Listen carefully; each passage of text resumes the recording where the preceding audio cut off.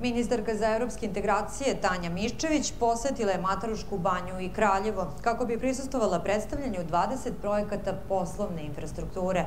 Nakon obilaska jednog od projekata, ministarka je sa šefom delegacije Evropske unije u Srbiji, Emanuelom Žiofreom, uručila sertifikate predstavnicima 20 lokalnih samouprava.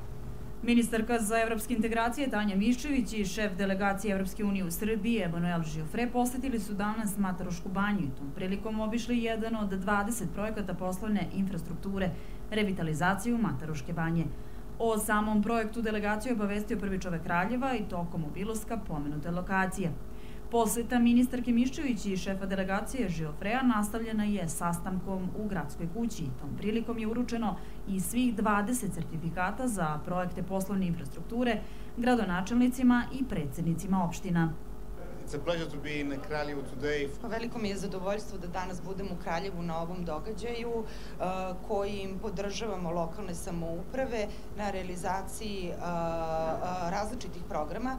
Naime, u okviru ovog programa koji finansira Evropska unija, to je EU Pro Plus, mi smo obezbedili, donirali smo skoro 8 miliona evra. Zahvaljujući tim, tom novcu, 20 opština iz Srbije je moglo da pripremi svoje projekte za realizaciju, recimo od Šapca na severozapadu, preko Kragujevca, Kraljeva u centralnoj Srbiji, pa sve dole do juga u Preševu.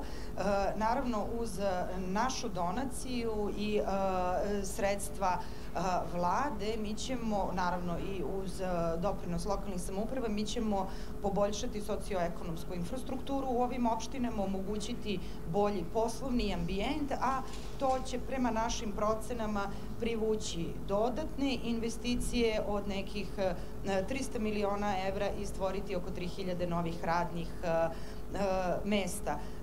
Sve su ovo konkretni i vrlo opipljive, konkretne i vrlo opipljive koristi za građane i za poslovni svet koji zajednički omogućavaju Evropska unija i lokalne samouprave sve sa ciljem boljeg života lokalnog stanovništva. Najveći broj projekata se zapravo odnosi na razvoj industrijskih zona, industrijskih potencijala lokalnih samouprava južno od Beograda, kao što reče e, i ambasador Žiofre od Šapca prema jugu Srbije. E, međutim, e, ono što smo videli jeste da postoji potreba za pomoć u razvoju turističkih destinacija. Sve su to oblasti koje generišu rast koje zapravo omogućavaju razvoj, koje privlače pri tome i dodatne sredstva za razvoj infrastrukture i tako onda dolazimo do uvećanog e, broja onih koji će koristi imati od 20 projekata, 8 miliona evra i koje se ne može meriti e, nikakvim parama. To su e, hiljade ljudi koji će imati mnogo bolje uslove za život, rad, ostanak, opstanak, ali i za unapređenje svojih poslova. Ovo je samo jedan segment procesa evropske integracije, samo segment pomoći, istakla je ministarka. Ova pomoć će rasti kroz program rasta za Zapadni Balkan. To je oni 2 plus 2 milijarde plus 4 milijarde, 2 milijarde grantova, 4 milijarde uh, u zajmovima i koja se nastavlja na ove ideje. Znači, kako unaprediti socioekonomski razvoj Srbije, sa dobrim projektima, strateškim promišljanjem našeg razvoja, to je ono što nas čeka u narednim godinima i to smo razgovarali sa gradonačelnicima. Domaćin poseti i ujedno dobitnik jednog od sertifikata danas je bio gradonačelnik Kraljeva, dr. Predrag Terzić. Grad Kraljevo je za pet godina zajedno sa Evropskom unijom realizovao čak 20 projekata. A danas smo dobili sertifikat jer je grad Kraljevo zajedno sa Evropskom unijom preko EU Pro Plus programa dobio sredstva kako bismo uspeli da rekonstruišemo vodovodnu mrežu u Materuškoj banji, zamenimo dotrajale klupe i kante za otpadke u parku u Materuškoj banji i rekonstruišemo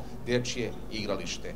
Rekonstrukcijom vodovodne mreže u dužini od preko 5,3 km mi ćemo uspeti da obezbedimo sigurno vodosnabdevanje gerontološkom centru u Materuškoj banji, rehabilitacijonom centru Agens u Materuškoj banji, sportskom centru Okanik, kao i hotelu Termal koji se nalazi u Materuškoj banji. Na taj način ćemo uspeti da pomognemo svima, od dece koje će se igrati u parku, preko dece koje koriste sportski centar koji koriste i rekreativci, do rehabilitacijonog centra i gerontološkog centra u kome su smešteni najstari sugrađani. Očekujem da ćemo i naredne godine, ali i narednih godina dobijati pomoć od Evropske unije kako bi poboljšali život svih stanovnika Kraljeva i Srbije.